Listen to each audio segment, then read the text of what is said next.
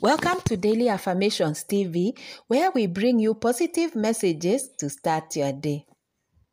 Good morning and welcome to Daily Affirmations TV.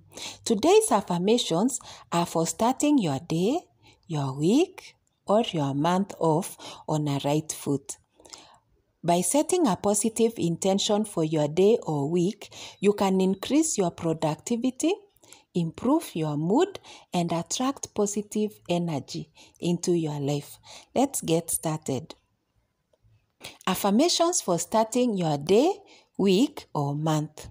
Today is a new day filled with endless possibilities. I am grateful for the opportunities and blessings that come my way. I am capable of achieving my goals and dreams. I choose to focus on the positive and let go of negativity. I radiate love, joy, and peace to everyone I encounter. I am confident, courageous, and resilient. Psalms 118, verse 24 says, This is the day the Lord has made. Let us rejoice and be glad in it.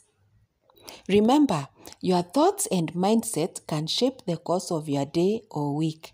By focusing on positivity and gratitude, you can attract more of it into your life. Let's close with a final prayer.